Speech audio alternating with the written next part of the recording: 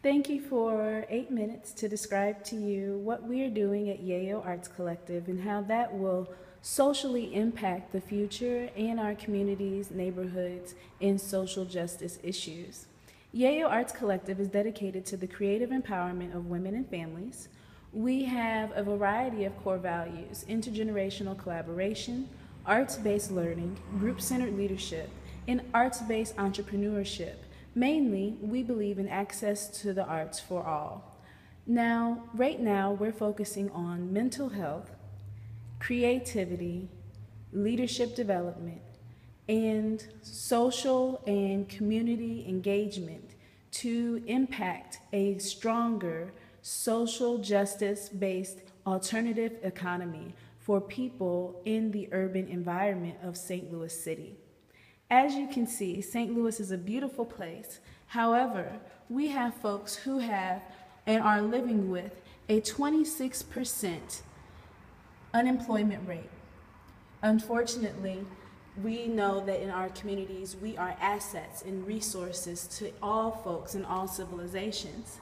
And therefore, we want to honor that through creative activity, group centered leadership, nutrition, health, wellness, and mental health.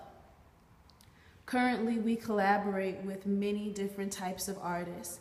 As you see here, these are two paintings done by myself, Dale Chambers, who are past collective members who died in their mid 30s due to complications with their brain, both having a aneurysm like um, illness that caused their death.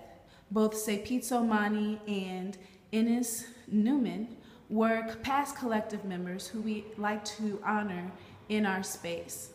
Our space right now is partially a lending library for community members to engage with books that are radical, social just, basic knowledge, uh, literature, and more. We, we believe by exposing folks to this lifestyle of literacy engagement that we're able to help support those who have questions about history, culture, understanding art, and more just by reading in public, just by being a part of this larger community and doing what we do in a public way.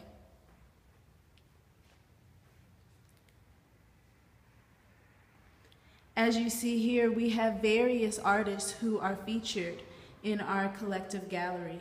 Each artist is able to sell their work. 30% of the fees of the money goes back to our nonprofit mission. Again, Yeyo Arts Collective is dedicated to the creative empowerment of women and families. We honor people of color.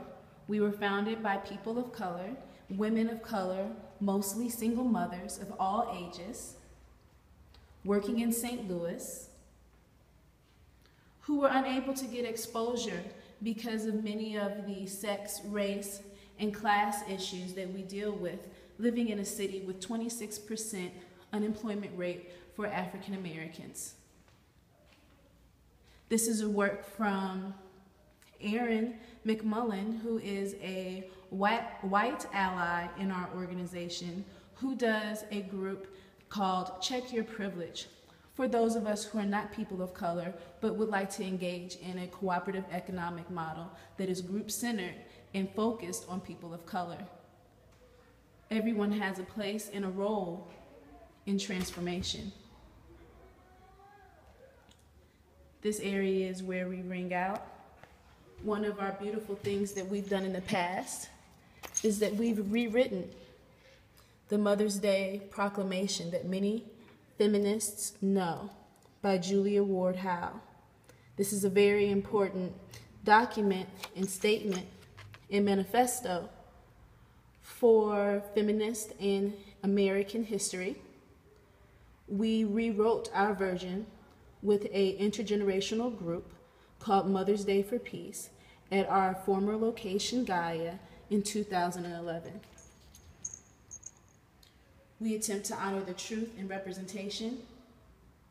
We understand that mental health is at the forefront of issues when we're re envisioning what a socially just space, a safe space looks like. This is a collaborative mural that's still in progress that our collective members are working on, on our back door.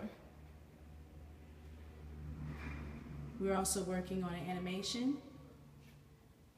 And we have our strategic plan